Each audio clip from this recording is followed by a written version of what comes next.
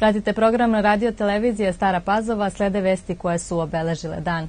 Policija je u Stare Pazovi uhapsila 65-godišnjeg MK zbog sumnje da je izvršio nedozvoljene polne radnje nad devojčicom starosti 12 godina. Osumnjičen je zadržan u policiji, istraga povodom ovog slučaja je u toku. Takođe, pripadnici policijske stanice u Stare Pazovi uhapsili su 38-godišnjeg muškarca zbog sumnje da je izvršio krivično delo silovanje 58-godišnje žene iz Banovaca. Kako nezvanično saznajemo, žena je obolela od kancera. Za RTV Stara Pazova je potvrđeno da je osumnjičeni uhapšen te da mu je određeno zadržavanje do 48 sati. Predsednici vlade Srbije Ani Brnabić danas je u Banja Luci uručen orden Republike Srpske na lenti, a tom prilikom ona je poručila da je odlikovanje potvrda odgovorne politike vlade i predsednika Srbije i stalni podsjetnik na obaveze i dužnosti koje nosi bratski odnos Banja Luki i Beograda. Na svečanosti u Palati Republike, gde su povodom Dana Republike Srpske 9. januara uručena odlikovanja i drugim zaslužnim pojedincima i institucijama, ona rekla da odnos Srbije i Republike Srpske prevazilazi formalne okvire u uobičajene bilateralne saradnje, već da u njemu postoji u svakom smislu nešto mnogo veće i značajnije od diplomatskog i administrativnog. Predsednik Srbije Aleksandar Vučić uputio je čestitku predsednici Republike Srpske Željki Cvijanović povodom Dana Republike Srpske. On je u čestitki naveo da Republika Srpska može da računa na nesebičnu podršku Srbije.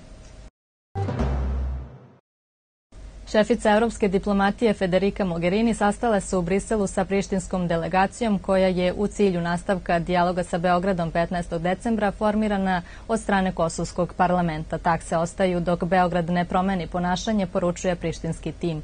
Na sastanku u Briselu razmenjena su mišljenja o stanju dijaloga, a visoka predstavnica je ponovila neophodnost ukidanja taksi koje su kosovske vlasti uvele za robu iz centralne Srbije, navode u Evropskoj službi za spoljne poslove. Jedna od 27 kapitalnih investicija u opštini Stara Pazova planirana u budžetu za ovu godinu je zamena postojećeg osvetljenja sa energetski efikasnijim uz otplatu investicije kroz uštedu po projektu javno-privatnog partnerstva. Opština Stara Pazova raspisala je javnu nabavku u kojoj traži privatnog partnera za realizaciju projekta rekonstrukcije i dugogodišnje održavanje dela sistema javnog osvetljenja primenom LED tehnologije na teritoriji opštine.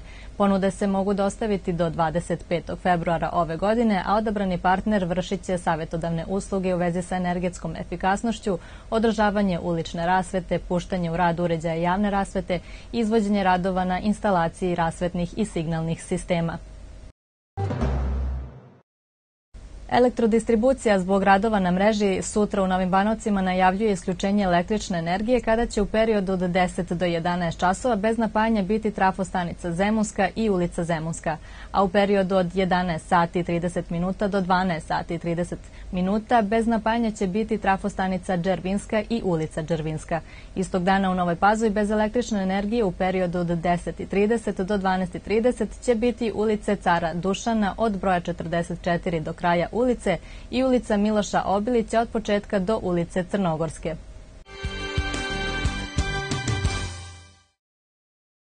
Naši najbolji rukometaši otputavali su jutros u Nemačku na svetsko prvenstvo koje počinje sutra. U Staroj Pazovi odradili su jedan od poslednjih treninga u oči duela sa Rusijom u petak od 18 časova. Pored Rusije, Srbija se sastaje sa Francuskom, Korejom, Brazilom i Nemačkom.